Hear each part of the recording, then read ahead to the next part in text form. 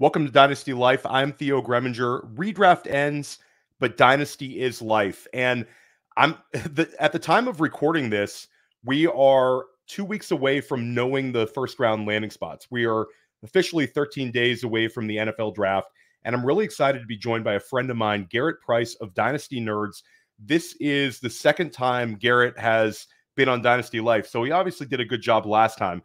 Last time Garrett was in the house, we had a really fun show subject, one that was like a really one where we could sort of galaxy brain it out, and we discussed what we would be willing to trade uh, rookie draft picks for players, and we we had a really you know insightful conversation that I think was very beneficial to a lot of dynasty managers. Got a lot of positive feedback today. We might get a little bit of hate and negativity because we're doing something that we're talking about sell highs in dynasty and we're not talking about players that everybody else is talking about on podcasts. Like, we're not going to go out here and say, sell Chuba Hubbard before the NFL draft, sell Zach Moss. We're going to talk about players that are at peak dynasty value that could potentially bring you incredible returns. But before we do that, Garrett, welcome to Dynasty Life. Let everybody know what you have going on. You guys are putting out a ton of great content at Dynasty Nerds. You yourself are grinding right now this time of year. Oh, absolutely. Yeah, it is. It is that season. I mean, anybody that does Dynasty this time of year, there's a lot going on. All the stuff, the preparation that it takes to get ready for the NFL draft, it, it's a lot. And especially if you're a film guy, uh, you know, analytics guys are awesome, and and they they live they live the good life because they get to punch things in, and then it spits out what they need. Uh, film grinders, it takes us it takes us a while uh, we we don't get to go through uh, all the players and all the prospects nearly as quickly. So uh, it, this time of year, it, it's definitely a grind. Uh, but I'm getting the nerd scores ready, which is which is my tape score. Uh, we're getting all of the profiles finished and completed, all of that kind of stuff. So yeah, it's it's busy, but I love it. It's it's so much fun. Yeah, no, it's definitely awesome. And I have a couple of evergreen questions. And last time you were here, I asked a couple of them. So we're going to skip like the uh, most disappointing and you know the biggest positive surprise. You already gave me that, but I have another question that I usually save for the summer, but I'm starting to ask it now. If you could know the final stats for any single player in fantasy in 2024, who would it be? I think right now for me, it would probably be Tank Dell. Uh, the this new situation going on with Stefon Diggs there in uh, in Houston. Nico Collins is there. He's obviously a talented player as well, but he's on the last year of his deal. It's a one year deal for Stefon Diggs. But I'm really curious to see how this pecking order really shakes out because I really like Tank Dell, but obviously he's coming off the injury. We expect him to be full go. Uh, but it, it, there's always just those lingering question marks when there's a big situation change coming off injury. I would love to know what his stats were because I want to invest like everything into Tank Dell, but I'm still just a little hesitant. Well, I just made a Tank Dell trade yesterday. Okay. In a single QB FFPC league, I traded Tee Higgins and the 305 for Tank Dell and the 301. Essentially, Tank Dell for for Tee Higgins. I felt like it yeah. was a reasonable pivot that I couldn't have gotten done six weeks ago. Um, and now it's sort of like a little bit of a buying window. And if I get burned, I don't think Tee Higgins is the one that's gonna gonna kill me, Garrett. He's already kind of shown a, a, a what he is, maybe wide receiver two season. I don't think I'm gonna lose on like a top five season from Tee Higgins. But on the flip side, the market could be really reading Tank Dell incorrectly because this is a guy that we saw giving us 16, 17 points per game as a rookie, has a chemistry with CJ Stroud and like you said, he's the, the had the least NFL experience and the most contract insulation of the receivers in in Houston. So I, will I'll take a, I'll take on some more Tank Dell. Your thoughts on that trade? I like it. I like that deal. I think you know both those players are in a very very similar range for me right now, and that's you you have to take risks at times uh, in fantasy, and I think Tank Dell is a very reasonable risk right now because of the contract, because of what he did as a rookie, because of his relationship with CJ Stroud. All of those things, while yes, you know, he's still undersized, he proved that that doesn't matter. Uh, so I I think he's one of the more reasonable risks that you can take, despite Stefon Diggs being there. I don't anticipate that being a long marriage. So I really like Tank Dell. So I would make that deal. Yeah, and uh, that was one of my questions. So we we we you were able to answer two questions at, at once, Garrett. We're going to talk about that Diggs trade, but that. we we pretty much covered that. You're you're absolutely a pro, and we can both agree this guy's not high profile enough to make this uh, list. But I have concerns about Dalton Schultz sort of returning anything worthwhile next year. I think last year he gave you sort of that. He's had a, a, a, a you know hat tip to him. He's had a great fantasy run of of tight end one production, but it feels like the the the floor could fall out next year. They add Mixon, they add Diggs, Dell and Collins one year older. It seems like Schultz is going to be very touchdown dependent and not a guy we can sort of lean on as like a tight end 12 type. What is your thoughts on Schultz? Yeah, really the tight end position in general, I really view it as the haves and have nots. And basically right now we we have a little more depth at tight end than we've had in a while. Uh, but you have five, six, you know, if you want to put Brock Bowers in there already too, which I think is fair. Uh, you know, like seven guys that are really, really good that could all feasibly finish as a top seven tight end. But what we see historically is that tight end, anywhere from tight end five to tight end seven in that range, all the way down to like 16 to 18, uh, negligible in points, like very, very little difference. And so for me, I would rather, if I'm in a startup and I don't get one of those guys, I don't get Dalton Kincaid. I don't get Sam LaPorta. I don't get Mark Andrews. You know, I don't get those top tier guys. I, am just going to wait till tight end 18, 19. And so if Schultz is there, cool. If it's, uh, you know, David and Njoku's fallen to that range in the past, he won't anymore. Uh, but if it's, uh, let's see who else is around there. It's Pat Freiermuth, if it's Luke Musgrave, if it's Dallas Goedert. if it's like I at that point, I almost don't care because I really think it's just going to be negligible difference between those guys.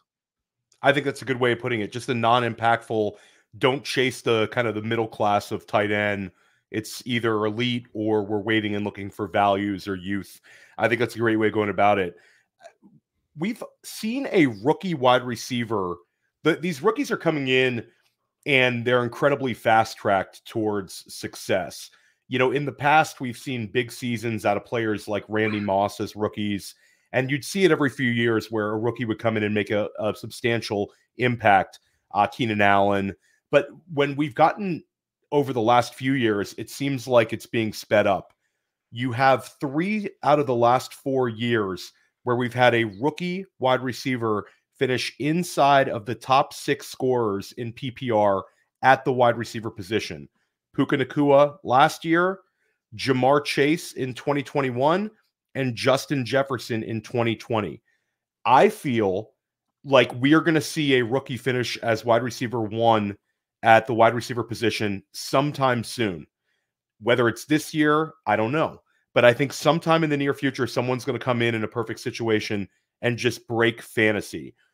If a wide receiver from this particular class is the one to do it, which player is it? And on which landing spot would it be?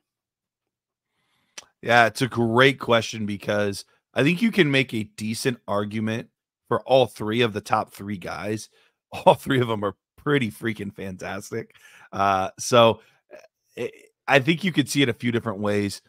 The gut answer for me is if Marvin Harrison Jr. ends up going to Arizona, and Kyler Murray is willing to just target him and feed him like he did DeAndre Hopkins the first year that the two of those guys were together, we could see some elite, elite wide receiver one type stuff. Because I mean, when you when you talk about play style, they're not too dissimilar between DeAndre Hopkins and, and Marvin Harrison Jr. So uh, now, obviously, slightly different offense than what it was under Kingsbury, uh, so you have to take that into account. But yeah, I think I think that's the one where I could really potentially see just absolute fireworks from those guys. I love that answer, and I think that it's it's sort of a low hanging fruit. I think the answer has to be Marvin Harrison Jr. because of his touchdown upside, And I think for me, it's Marvin Harrison Jr. to the LA Chargers because when it comes to Oh, Arizona, sure, yeah. Arizona, we have a little bit more target competition. And, you know, you also have the threat of Kyler Murray a little bit more around the goal line. Marvin Harrison Jr. in LA, I mean, you talk about we had that season from Mike Williams where through like eight games he was wide receiver one. That was 2021. And eventually, you know, eventually he got injured like he always does. And Cooper Kupp Yep. finished as wide receiver one. But we saw that sort of nuclear path for a high touchdown upside guy, a larger wide receiver. Then we've seen Keenan Allen give us multiple strong seasons attached to Herbert, multiple wide receiver one seasons. Now, if Marvin Harrison Jr. ends up in LA, there is nothing around him. His biggest competition for targets would be Josh Palmer, plus the loss of Austin Ekeler.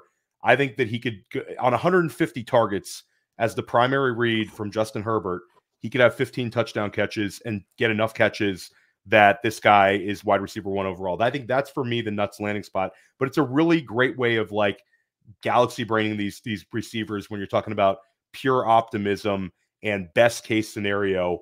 Uh, but yeah, Marvin Harrison Jr. is going to be a lot of fun, and we'll know where he's at in 13 days. It's pretty amazing. Um, Yeah. we're going to take a quick break. And then when we come back, we're going to talk about some trading strategy. And then we're going to share with you a couple of sell highs that we think can help you that might make you a little bit uncomfortable. Just a warning. If you want to if you want to log out, this is not going to be your standard sell high dynasty show. We'll be right back. Hey, why do we partner with the FFPC? Because they have the widest variety of fantasy football formats, and it's the easiest place to find all types of fantasy football contests in the world. What if you want to play for high stakes? Well, they have a $6 million prize pool with their Fantasy Players Championship. They also have way too early best ball leagues that start in February and dynasty leagues. They have the closest thing to a liquid market for orphans that there is in all of Dynasty. And the FFPC has sponsored us for half a decade because we are actually delivering information that can help fantasy gamers and they're generating so much interest and bringing in so many new users, casual users even.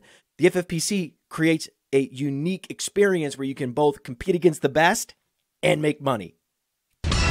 Use promo code Underworld to get $25 off your first team. $25 off your first team at the FFPC with promo code Underworld. Go get it! Welcome back to Dynasty Life. Theo Gremminger joined by Garrett Price of Dynasty Nerds. And when we talk about sell highs, we've seen this story sort of a, a million times in, in Dynasty. I can recall a few seasons back, Javonte Williams post rookie year. We're supposed to get Melvin Gordon leaving as a free agent. Dwain McFarland, who's one of the sharpest guys out there, tweets out that Javonte Williams is the top five pick in redraft the dynasty value just skyrocketed. And I recall I ended up selling Javonte Williams in a in a league, a single QB league. I got three first for him. I think I got two current firsts and like Oh, a wow. future first. So like this happened. Then you talk about like Kyle Pitts post rookie season. Kyle Pitts gives you 70 catches, a thousand yards. He ends up being a in tight end premium leagues, uh, you know, a top 10 pick, top 12 pick heading into year two the managers that sold him in Dynasty, you get the eyebrow raise, and it's sort of a, uh, you know, how the heck could you sell that guy? You've got the the perfect Dynasty asset, but a lot of times I think that there's sort of a rule where guys get to a certain peak. If you sell over asking, it doesn't usually burn you. Occasionally, you know, you sell Justin Jefferson after his rookie year, or you make a mistake and you sell like an Amon-Ra St. Brown thinking he's going to regress to the mean. It can burn you, but maybe most of the time it doesn't. Is there a specific rule for you, Garrett, where you look at a player and and forget quarterbacks, forget like let's forget quarterbacks. I think quarterbacks and superflex can throw people off because there's sort of irreplaceable guys like Mahomes. But you're talking about a non-quarterback, do you have a specific rule where if I offer you three first, are you taking it? Yeah, I, I mean, honestly, for almost any running back situation, if I'm getting three first, I'm at least strongly considering it. Uh, you know, it, it it depends a little bit on roster construction and and where I'm at as far as a contender versus a, a rebuild. If I'm getting three first for a running back in almost any situation in a rebuild, I, I'm probably doing the deal. Uh, but it, it's I would I hesitate to say that I have a hard, fast rule because there are so many little nuances to each situation that make it really tricky to just have a hard, fast rule. But yeah, three firsts. I mean, you're going to be able to get almost any player off my roster outside of probably Justin Jefferson or a quarterback. Yeah, I think it's sort of a you hate to be like steadfast and and have like set rules in dynasty because I think you bring up the fact that there's nuance and there's like little differences in and roster specific, but if somebody wants to overpay you that much, the chance of sort of recouping value, especially in Superflex, is there.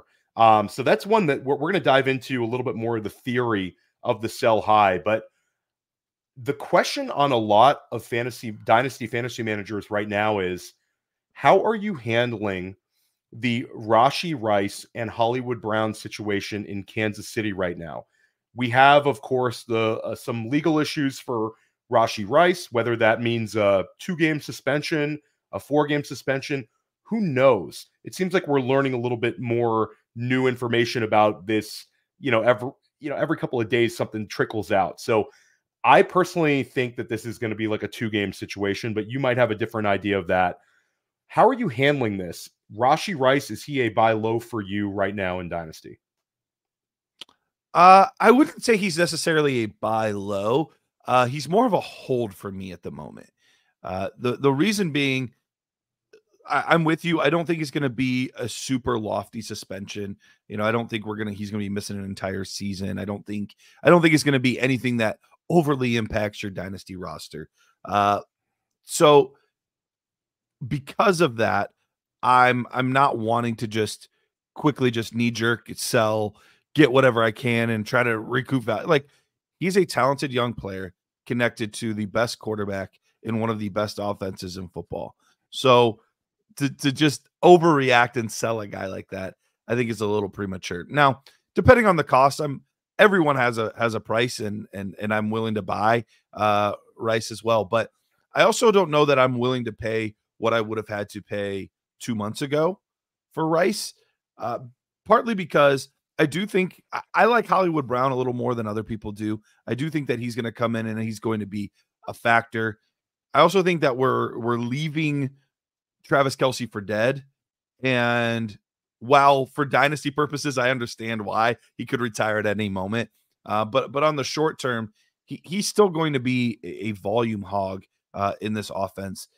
And uh, the the last part of it is we still just haven't seen anyone come in since Tyreek Hill and be a consistent fantasy producer outside of Travis Kelce. And so I don't know that I'm quite willing to pay the price to where Rice got unless I am able to get a, a really good discount. So let's talk about that. What would be a rookie draft pick in this 2024 draft, or if you want to take it to 2025 future picks, that's fine. That you would feel like is, hey, I kind of kind of got to take that that offer for for Rashee Rice. If you're looking to trade for him, let's say somebody, the Rashee Rice manager, yeah. makes this offer to you, Garrett.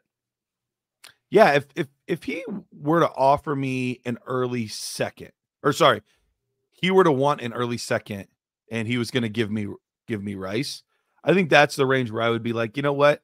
I do like a lot of the receivers in this class, but here we have a guy that is already a year into the offense. We've already seen that he has a good rapport uh, with with Patrick Mahomes. That feels like a little too too good a value to pass up, despite all the legal issues and, and worries about those kind of things. So, yeah, here's my 202, and I'll take Rice. But I think once we get into that first round range, which I get it for some people, there's not a huge difference in this class. Uh, so I can understand that. But I, I do think that we are around 110, 111. That's where we're going to start to see the top tier running backs in this class go. And I would hate to miss out on Trey Benson to the Cowboys or uh, Jonathan Brooks to the Chargers or, you know, one of these spots where we're like, oh, yeah, that's sexy. I'd hate to miss out on that. Uh, so I think that that early second is where I would feel pretty comfortable. Flip side, you said you like Hollywood Brown more than some dynasty managers might.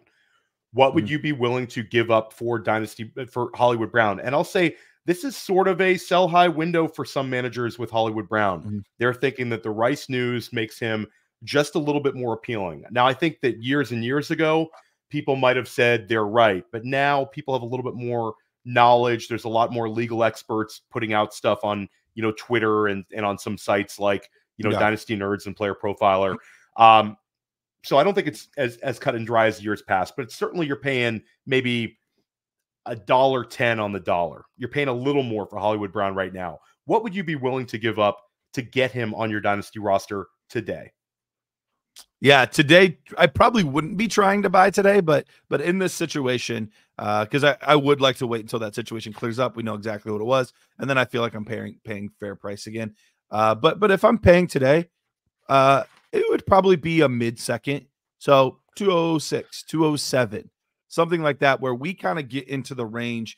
Uh, at least this is my mentality when I'm drafting. When I get to the second round, and specifically the back half of the second round, the, the floor goes out the window for me. I couldn't care less about a player's floor anymore. I want to know where's the player's ceiling.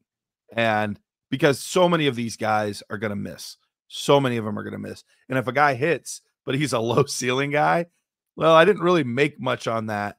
But if he's a high ceiling guy and he hits, then I feel fantastic about it. And that's that's kind of how I look at Hollywood Brown right now. Is the floor pretty low on him? Yeah, it's decently low. Uh, it's only a one year deal, $7 million. That's not a lot of money for a receiver that is supposed to be in his prime. But if he hits, oh my goodness, all of a sudden the value skyrockets. So I think that mid second range is, is what I'd be looking to pay. Yeah, and I, I agree with you. And I think it, you just have to simply look back at the Calvin Ridley situation where sometimes these guys do bounce back and get a, a really lofty payday if Hollywood Brown has 12 touchdown catches and 135 targets next year in Kansas City, uh, he certainly helps us in in fantasy and helps your dynasty team. But he also could have a little bit more long term stability with somebody willing to reward him, or Kansas City just simply pays him uh, for what they yeah. saw on the field. So uh, definitely an interesting one. A lot to think about with the Rice situation, and Hollywood Brown definitely a very interesting one. But the name of the game here is sell highs. And we're talking about some players that might make you uncomfortable to hear, but we're talking about trying to get you the best possible dynasty roster. And sometimes selling high on players, even young, exciting ones, can really result in us supercharging our dynasty rosters. So, Garrett, you're the guest. Why don't you share a player that you would be willing to sell high on right now? And in the pre show, we talked, we have one that we sort of agreed on. Yeah, absolutely. We can definitely. I don't know if you want to get to him now, or if you want to wait on him. Whenever you uh, want, you can save it. You can keep it in the back pocket, however you want to do it. Yeah, yeah, we'll we'll, we'll save it. Uh, but actually, I'm going to go to the guy that's directly behind him on KeepTradeCut right now. And uh, you know, we have our own ADP at Dynasty Nerds, but I know this is kind of the universal uh, go-to for ADP. And I'm looking at James Cook as a guy that I would be looking to sell uh, and particularly right now in this window. Uh, the reason being, he's coming off his his best year yet. So always, you know, when when somebody's at their peak value, that's a good time to look at potentially selling. He's now being listed as running back 11 uh, on KeepTradeCut, which is pretty high, uh, pretty pretty good value there uh, on James Cook. Only 24 and a half years old. So I'm, I'm kind of giving you all the things that you're like, oh yeah, this sounds like a guy that that I want on my dynasty roster, right? Why why are we selling? Well, here's the problem. James Cook is a a very inconsistent player. And I struggle with players that are really inconsistent on my dynasty rosters. Best ball, completely different story. We can we can be inconsistent and and and we can be totally fine. But consistency really does matter. I need to know when I can start you and when I can start you with confidence uh, versus trying to make some lineup decisions. Two, we are just two weeks away from the NFL draft. And the way that I look at the running back position, basically everybody outside of the top eight or nine guys at the running back position are all susceptible to having someone drafted to their team and tanking their value. And I think the the Buffalo Bills are somebody that we've looked at as a possible team to take that running back for a while. James Cook was a guy that they took in the late second but still, once again, late in games, they don't have that guy to grind the clock.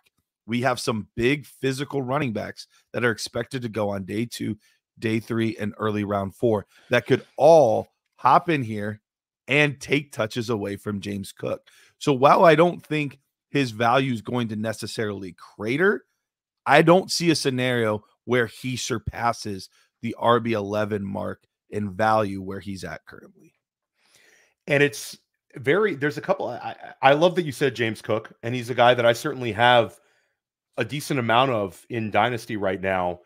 And I don't know if this is necessarily like a, hey, I got to get out of James Cook, but there is some fear and trepidation.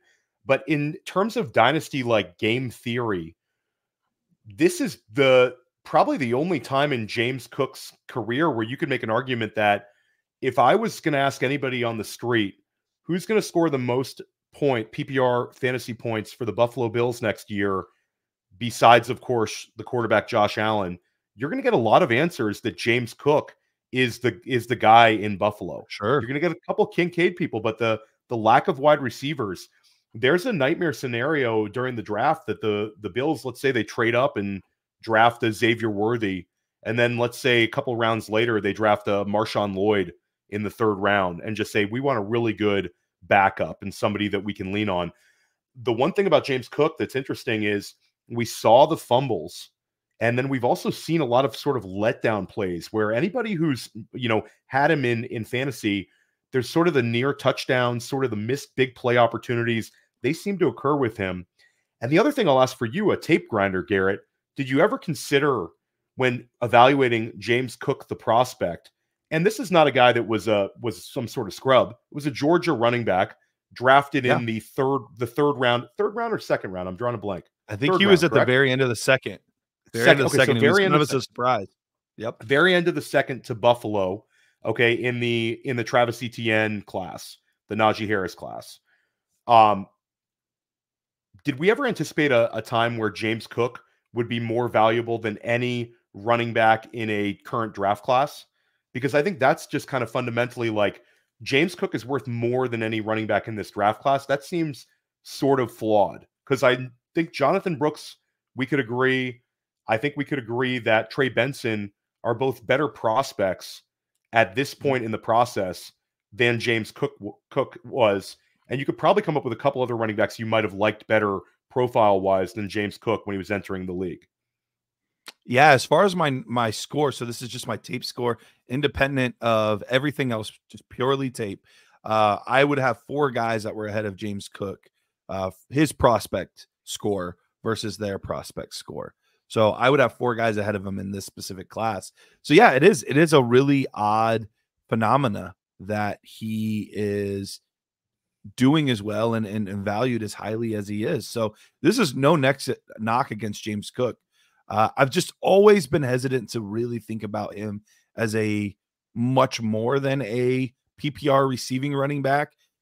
And until he proves it, and I we've seen it in individual games at times, we're like, oh man, James Cook's this is his game today. He's cooking. Uh, and then you have have the following week where you're like, oh, never mind. Uh, so that that's always been the thing for me.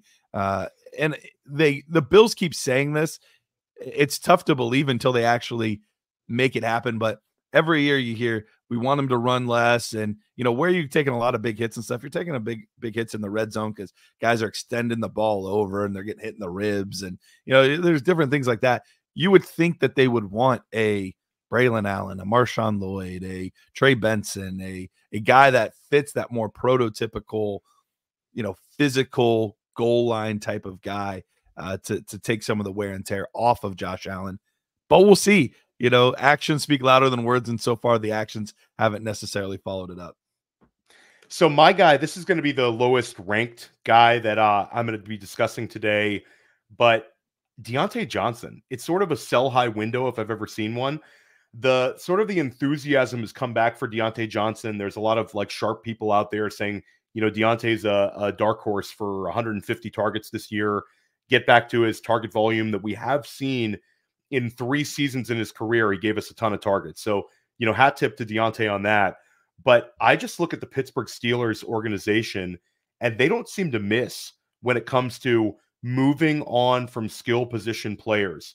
I'll throw a couple names out there Le'Veon Bell, Juju Smith Schuster, Antonio Brown, Chase Claypool.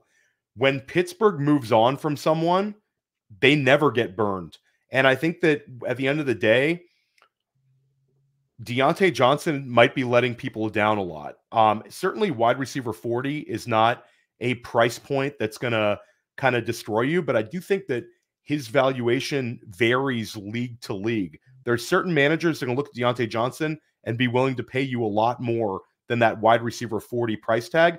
And like you said, Garrett, this is a very talented wide receiver class in this draft. There's a couple of players that are going to be absolutely in play for Carolina with those two early second round picks. A year from now, I think one of those players could be worth more than Diontae Johnson. I think this is a perfect sell high window right before the NFL draft.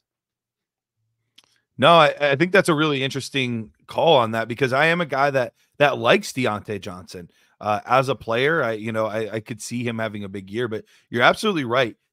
All of this stuff before the NFL draft, if they're not somebody that you have supreme confidence has their their their role, their situation locked in, eh, there's a lot of risk involved. There's a lot of risk involved, and so anytime that you can get rid of some of that risk and you can secure yourself into positions, even if it's a seemingly lateral move, but for a guy that's a, a much more secure and locked in, you know, maybe it would be a guy that's, you know, just a couple spots ahead, a Terry McLaurin. You know, Terry McLaurin seems to have his spot locked in, secured. We know what we're getting out of Terry McLaurin. There's not a huge age difference, less than a year difference between the two guys. So, you know, maybe that's a pivot so that way you're not taking on as much risk with Diontae Johnson uh, as, as, you would, or or less risk with with uh, McLaurin as as you would compared to Diontae Johnson. Back to you, Garrett. Give us another sell high candidate. Yeah. So this one, this one feels a little spicy. Uh, this one feels a little spicy, and and I know we're gonna get some negative comments uh, on this we haven't even seen this guy yet, and you're already selling him. This is ridiculous. I don't get Brian Thomas Jr. I don't. I know that people love Brian Thomas Jr. and sharp people, people that I respect that know their stuff, like Brian Thomas Jr. And so uh, I hesitate to do this one, but here's my here's my thought process. I think he is not in the tier with the top three guys. Uh, I know draft capital wise, it seems like on a lot of mocks, he's kind of pushing towards those guys. We're seeing Brian Thomas taken in the mid teens a lot in these these uh, mock drafts, and so he's kind of pushing up value wise. Currently, wide receiver 29 uh, on KeepTradeCut, so ahead of a guy like Rice, just behind a guy like Jayden Reed and Deebo Samuel. So a, a really valuable range as far as wide receivers go. Here's here's the problem that I have with with Brian Thomas. He currently projects a little bit more of a project, more than a solidified player. When we look at his profile, he's a guy that hasn't played a ton of football. Uh, you know, I think it was his junior year that he really focused on football because uh, he was more of a basketball guy before that. So hasn't played a ton of football. Uh, he, as a route runner, is very unrefined at this point. He really just ran a lot of go routes, a lot of slants, and a lot of comebacks. That was mostly his profile. So he has a lot of work to do still as developing as a route runner. And in today's game, if you profile as a speed, deep threat, Z type of receiver, it's really tough to have any sort of consistent production in a league that plays a lot of two safety looks. You might get a few plays a game, but that's really tough to count on. My guess is his value next year will be much lower than his his value is now. So if you are a guy that is a Brian Thomas guy, I would wait a year, then take the dip and expect him to improve upon his game and develop more. because I think the value for him will be less expensive next year than it is this year. Now, I'm not a big Brian Thomas guy, so I probably won't be getting in either way. Uh, but that's my concern overall with Brian Thomas Jr. I know it's spicy, and I know that there, there's going to be truthers that are going to come after me, uh, but that's where that's where I'm at with Brian Thomas Jr. Yeah, so I have him wide receiver four in the class, and I think I'm taking a little bit more of an optimistic approach. But I do agree with you that people are treating him like the draft capital is there, and also the role. Simply being drafted inside of the top 20 doesn't necessarily mean that he's going to fall into line where he's like the number two target on a team out the gate. Teams trade up. Teams want talented wide receiver threes. Uh, I brought up like Miami and Philadelphia as nightmare scenarios. I think they could be in the mix for a wide receiver due to the quality of the class. If he lands in either of those situations, you're not nearly as happy as like an Arizona trade trades down and just takes Brian Thomas. And I'll say Cody Carpentier is also down on Brian Thomas relative to some other wide receivers in the class. So you're not alone. There's some tape grinders sort of poking holes in what Brian Thomas is. I've also heard Scott Barrett um, have a little bit of trepidation on him. He brought up the fact that he didn't break out early, this sort of back line. And again, it's a junior year, so it's not a senior year, uh, you know, Xavier Legette uh, situation um, or like a Keem, Keem, Keem Butler situation, but you want to see it a little bit earlier. Interesting guy to bring up. I'll go even spicier, and people are going to be booing this podcast right now. And this is a guy that I love. I love this player, but I look at a situation where, and I'll just go ahead and say it AJ Brown. AJ Brown Ooh has now had two seasons in a row where he has been dominant in fantasy. He's given us two top eight seasons in a row where the guy has just been unbelievable. He's beat his ADP expectations two years in a row. He's been a dynasty steal for two seasons in a row. Now we get the offensive coordinator change. And people are looking at this as a largely positive thing for AJ Brown. And when it when it happened, I sort of took the same approach. Kellen Moore is going to have Jalen uh, Jalen Hurts, you know, under center more. He's going to take more shots downfield. They're going to have a little more trickeration in their play calls. It's going to be less boring than we saw last year in Philly. And AJ Brown is going to thrive. But then I look more into it, and I see the presence of DeVonta Smith, also the signing of Saquon Barkley, and also the fact that I think Philly might draft a wide receiver at the end of the first round. I think that there's a chance a year from now that AJ that AJ Brown is worth less than simply I'll throw out some guys on KeepTradeCut. He's got Malik Nabers behind him. I would take Malik Nabers all day for AJ Brown right now, despite my love of AJ Brown. Then you have a few other younger wide receivers like Rome Odunze, like Drake London, that could take a huge step forward and be five years younger than AJ Brown with similar 2025 pros, uh, prospects for their, their projections. I think DeVonta Smith has become so beat up that he might be a little bit more of a buy. And I think AJ Brown heading into his 27 year old year, I think that he's not going to be worth more in Dynasty right now in a year. I think this might be an opportunity to pivot. I think he's a perfect trade up type guy or a trade down and get a get a package type guy. And that hurts me to say. I'm still going to be drafting the heck out of him in best balls and redrafts. But hey, I, it's uh father time is is undefeated, and these guys do start to lose a little value. Not every wide receiver is Davante Adams and just keeps doing it, you know, well into the, to their their early 30s. So uh, that one makes me a little uncomfortable. Garrett, your thoughts? No, I I don't hate it at all. When you look at all of the guys in the top 16, 17 right now, outside of Tyreek Hill, which we know is he's just kind of a freak. Outside of that, AJ Brown is the oldest guy. And that says a little bit about the dynasty community in general. We we tend to move on a little quicker uh, with some of these players, and, and we we appreciate the youth. But at the end of the day, the market is what the market is. Whether whether you think that's correct or not, that's what the market's saying he's worth. And so if a guy that is kind of nearing that what we would consider older wide receiver age, even though he's really not that old, but if he's nearing that older wide receiver age, what's the community going to do? They're going to continually push him down for these younger guys that are, in the year two, in year three that are more exciting and more upside and more, you know, all of these types of narratives that is just going to continually push his value down and down and down, whether it's correct or incorrect. And, you know, maybe at some point then he flips and becomes a buy because we push him down so far. But right now, you're right. I don't see a scenario where, you know, he's at wide receiver eight. Do I think he's going to be higher than that next year? Probably not. And probably not the year after either. So uh, I think it makes perfect sense. Definitely makes me a little sad to say that one. All right, uh, lay lay us uh, lay one on us, Garrett. The people are are ready to be punched in the gut one more time. Man, uh, let's uh let, let's go with this guy here.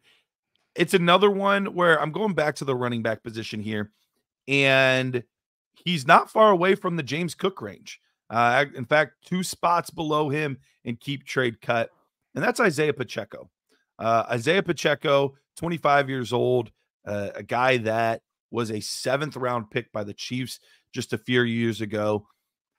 He, here's the thing with, with Isaiah Pacheco we have not seen his role evolve in his time with Kansas City so far. And while he is a great between the tackles grinder, he's not somebody that has any real chance of putting up elite fantasy football numbers. So when we look at, you know, this past year, which he had a really good year, he had a really good year overall in PPR leagues. He was, let me grab it real quick. He was he was running back 15. You know, 15 points a game, solid running back. But even in that, still very inconsistent. Nine, eight, uh, two sixes, like it, it, can be a bit of a roller coaster with him. He's really a guy that is a bit touchdown dependent to really get into that, you know, 17, 18, 19, 20 point range. You really need for him to get a touchdown. And in this Patrick Mahomes offense, that's not something that's guaranteed. They're going to throw the ball around a little bit. And I know they're running it more than they ever have. But once again, this is another team where I'm not removing them from the possibility of drafting a running back. They don't have a lot invested in this guy. They don't seem like a team with where all of their money is right now that is going to want to pay a running back good money. And so I don't know that he's going to get an amazing second contract with this this Kansas City Chiefs team. And they could honestly use somebody that is a little more interchangeable. Think of a Jaylen Wright or somebody like that in the backfield where a little bit more dynamic, can do a little more in the receiving game. So it it feels like a situation right now. He he's ranked higher than he's ever actually scored uh, on the season, and I'm just I'm concerned that he's a kind of a Rich Dotson says it all the time. Hashtag two to three year window guy, and we've we've hit his window. I love that one, and that's the guy that I actually sold in a in a league. He's a perfect package type guy if you're trying to level up if you're trying to trade up from a pick, throw Pacheco in there and it maybe gets you from a non-elite tier into an elite tier. He's got enough of a ceiling case for dynasty managers that look at him and say, this is the Kansas City Chiefs running back. And he just played really, really well in year two. But you hit on a couple of things there. They're not paying him anything. He was a seventh round pick. They don't have anything massively invested in him. And his profile is not a guy who's going to catch a lot of passes. I'd say he actually exceeded expectations last year as a pass catcher when you compared what he did in his rookie season to a year two. Now, the bull case is the team trusted him more and wanted to get him targets. But the bear case is Jerick McKinnon was banged up. If Jerick McKinnon, McKinnon is is not is not banged up last year and certainly didn't you know show little signs of regression, then you have a similar situation to Pacheco year one, and it's more of a split. I think the Kansas City Chiefs offense is at its best when you have a McKinnon type. This year's draft has a number of guys who can catch passes. And then you've got some guys that I just think are, again, the James Cook argument that were clearly better prospects than Pacheco was two years ago. He's a guy that's getting propped up by a situation, a great situation. But yeah, I'm, I'm with you on that one. And I'll, I'll stay at the running back position. This guy we agreed on uh, pre-show, and that's Ken Walker. And our friends at KeepTradeCut have Ken Walker at running back 10. His seasons in his first year and second year were somewhat similar. He scored a lot of rushing touchdowns. Uh, this is a guy that when you watch him play, you want to really love Ken Walker because he breaks off long runs. He's exciting. But mm-hmm. there's a few red flags here. We see an offensive coordinator change.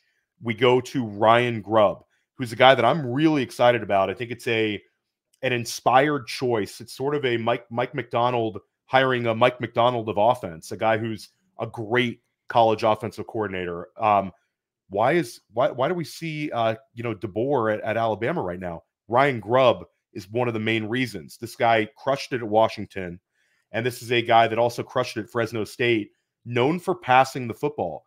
Zach Charbonnet, a better pass catcher than Ken Walker, had a lot more receptions in college than Walker. Um, and I think Zach Charbonnet is sort of a thorn in the side and also the chance of a regression on rushing touchdowns. Now, Ken Walker could burn us here because the quality of the offense could could be better and he could have more opportunities to score touchdowns. But besides the touchdown scoring, I don't see a situation where he's going to be well, let's put it like this. I don't see Ken Walker as RB10 a year from now. I think this might be peak value time for him and a and a window where you're simply selling at his peak value. Yeah, we we totally agreed on this one. This was one that we both kind of had coming into this as somebody that just feels a little overpriced for the moment. And when you consider, I, I think one of the biggest things is the offensive coordinator change. When you consider going from one of the most run centric offenses in the NFL to one that we project to be on the lower end side as far as rushing attempts goes, that alone can move a guy two, three, four, five spots down a list uh, according to what they would have been able to do had they got the same type of volume.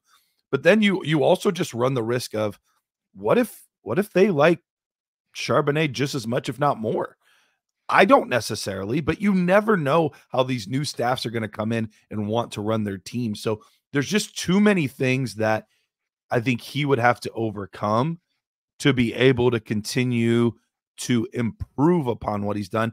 And last part of it is he's he's been banged up every season so far. I know it's only two years, uh, but he hasn't been the pinnacle of health. Uh, so so that always leaves me with a little bit of trepidation as well.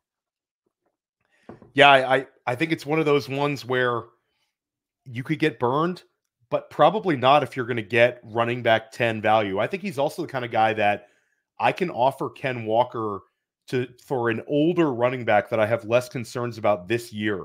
Like simply mm-hmm. put, if I look at KeepTradeCut, you know, the to get a Ken Walk, I could get Josh Jacobs plus from some dynasty managers for Ken Walker. I feel better about Josh Jacobs this coming season in his role and the Absolutely. offense. Just a little bit older, and that's the only reason he's he's uh he's uh a little a little less expensive. Um, we'll kick it back to you. Give us uh give us somebody that that uh you want to talk about as a sell high. Yeah, my last one here. Uh, this is my last one, and we're we're heading over to the quarterback position, and I I struggle with this one a little bit, not because I think he's not a good sell high. I do think he's a good sell high, but you see the flashes of upside, and you're like, oh, there could be something here. But I think that's also why he would make a very good sell high. Uh, and so the guy for me currently quarterback 24 on KeepTradeCut, and that's Will Levis. So we're we're down a little bit. We're not quite as high as some of the running backs that we talked about, but Will Levis right now, he he had a he had a solid rookie campaign, but most of that is really based off of that first game. That first game, he absolutely balled out. Him and Nuke were going nuts, and then eh, the rest of the season was just kind of fine. I feel like right now at the quarterback 24 spot, when you look at most of the guys ahead of him and right in his range, they're kind of in that safe quarterback. We know their job, we know their role. I don't think he's that guy. I don't think his job is safe like it is with Matthew Stafford, who's a little bit older, Baker Mayfield, or Deshaun Watson. Like, I don't think he is a safe quarterback. He's has a limited history with the Titans, and we have a head coaching change. Head coaching changes typically mean that they want their guy. So I think that means this is going to be a short rope for Will Levis. He either balls out this year and becomes their franchise quarterback, but if he's mediocre or worse, they could easily move on. And if I'm going to put it on a tinfoil hat, and I might in this moment, I'm going to put on a tinfoil hat. The Titans are at seven in this draft. There's nothing saying that they couldn't decide, you know what? Maybe we want one of these guys. And they are a dark horse candidate to come up and take one of these top four guys that people are really excited about. Do I think that's going to happen? No. I think they're going to go offensive line at seven and secure that O line, but I'm not ruling it out. I don't think it's out of the realm of possibility. So, uh, Will Levis right now in a range of quarterbacks that I feel are s- much more safe. Will Levis just feels very risky. Yeah, no, I agree with you. I think that just fundamentally, he has gained value because of a coaching change, and he's gained value because of a kind of a couple of veteran, uh, you know, free agent signings. Like nobody's like standing on their head about Calvin Ridley or Tony Pollard in Dynasty, but we see these guys as stylistic changes in Tennessee that Will Levis is going to benefit from. I would like to have some Will Levis in Dynasty, but I agree that if somebody's willing to treat him like a premium asset and I can pivot and get somebody that I like better in this draft, guy was a second round pick in the NFL draft. And like you said, very minimal in terms of dynasty success. I mean, excuse like sort of fantasy success scoring wise. People think about that first game, but there was a lot of like below purgatory level games uh, throughout that season uh, last year. So Will Levis, you know, a guy that they're setting him up for success, but that success doesn't always happen. I'll, I'll stay with a kind of another uncomfortable name, and I'm going to go with the wide receiver 10 on KeepTradeCut. And it's a guy that I have a good amount of, and that's Chris Olave. And I sort of overshot. And at the beginning of the process, I was trying to trade Chris Olave for picks that would get me Malik Nabers and picks that would get me a Rome Odunze. Maybe I shot a little too highly, and I sort of sort of should have approached those trades differently because I think the market quickly changed on Nabers uh, Olave. Now you're getting a, a rejection, and the Odunze market versus Olave, I think, is getting there. Chris Olave has played really, really well for two straight years. But like you said with Pacheco, he's being ranked higher than we've ever seen him finish. Last year, he finishes wide receiver 16 overall. Metrics wise, he had plenty of opportunities to get to that, you know, top 10, top eight season. The target competition was not strong. His, you know, target percentage was high. The air yards are there. And it's sort of a just a little bit of a disappointment, especially where you drafted him in in redraft and certainly took him in the dynasty startup. So for me, Chris Olave is just one of these guys.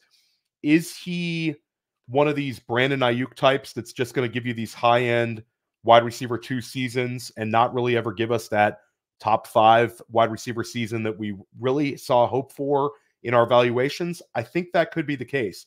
I think he's a really good player attached to a quarterback who's not very good. And we've seen it now for two straight seasons where the guy's gotten what we needed in terms of scoring and just hasn't delivered. I think we could have another season where he's like wide receiver 15. And at the end of the day, that wide receiver 10 price tag, I mean, you talk about the wide receivers in this class, Garrett.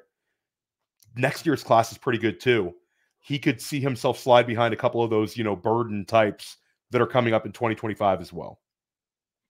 Yeah, no, I think that's very fair overall. He has been a a, a little bit of a disappointment uh, since since his, his coming out of Ohio State, and I know that rookie season that there was a lot of excitement and a lot of buzz, but you're right, he hasn't really capitalized on it.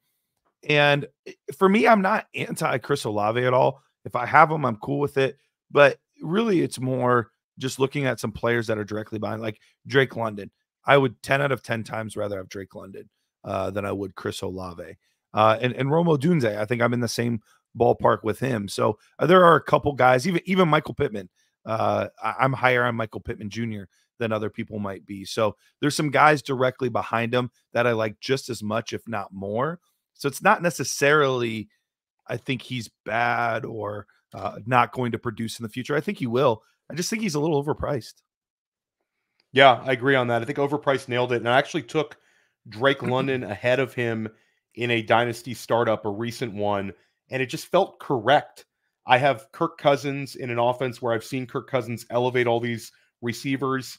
And besides Davante Adams, we don't really have anything to kind of hang our hat on when it comes to Derek Carr. We saw the Darren Waller years. Hunter Renfrow is a little, you know, that's a little different kind of player than Chris Olave. So uh, my last sell high, it's a very uncomfortable one. And it's one that I think deservedly is a top four tight end in Dynasty right now.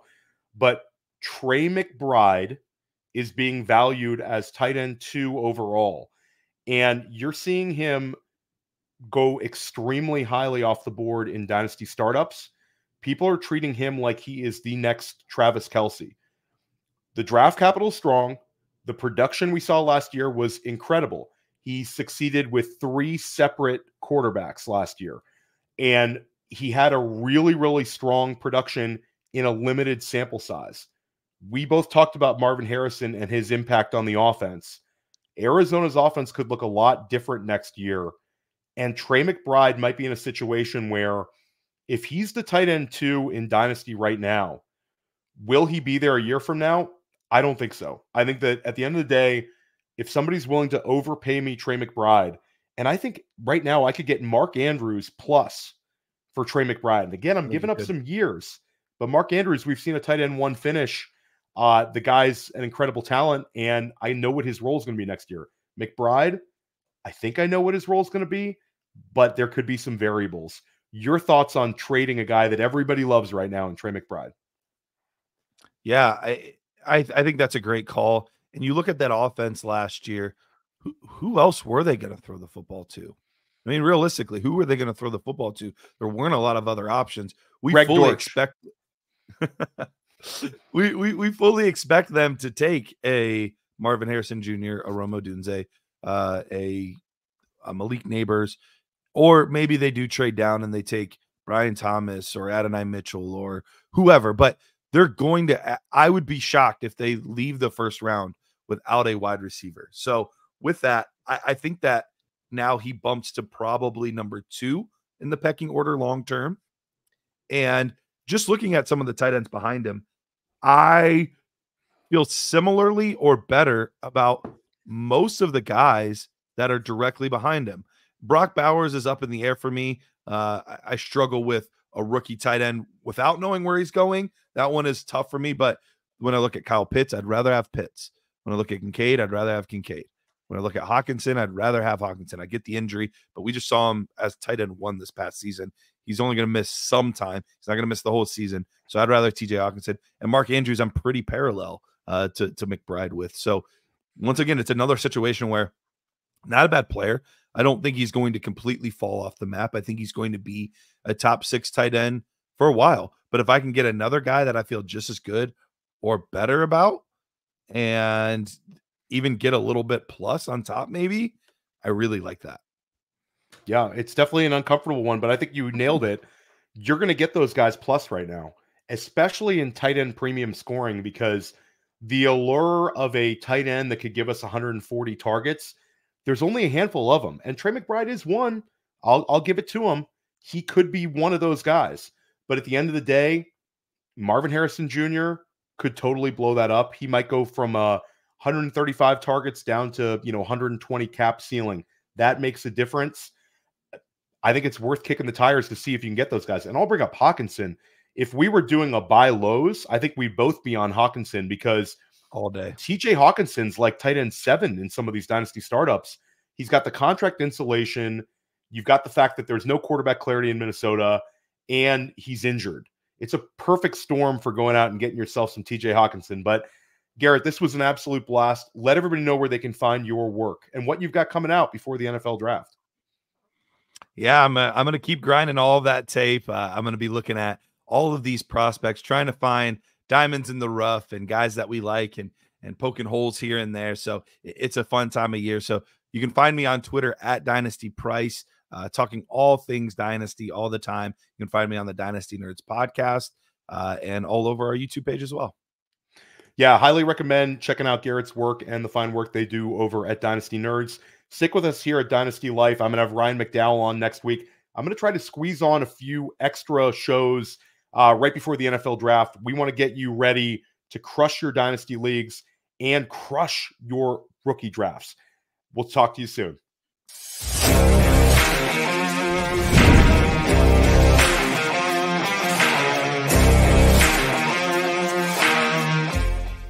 Hey, I want to thank you for being part of this broadcast. If you have any thoughts on it, leave a comment. If you enjoyed it, make sure you leave a like. And if you want to see more shows on the Player Profiler channel, subscribe to it. That's how we know you want more.